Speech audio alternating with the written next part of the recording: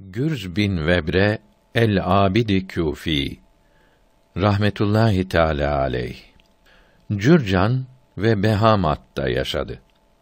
Kabri meşhurdur ve ziyaret edilir. Malik bin Enes'ten radıyallahu an ilm öğrendi. Cariyesinden o nafakasını nereden temin eder diye sordular. Ondan her ne zaman bir şey istesem falan pencerededir derdi. Gider o pencereden istediğim şeyi alırdım demişti. Cürcan ehlinden bir kimsenin şöyle anlattığını bildirmişlerdir. Rüyamda Cürcan kabristanını geziyordum.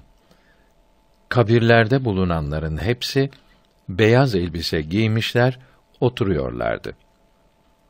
Onlara size ne oldu ki beyaz elbiseler giydiniz diye sordum. Gürz bin Vebre'nin buraya gelmesinden dolayı bize beyaz elbise giydirdiler dediler.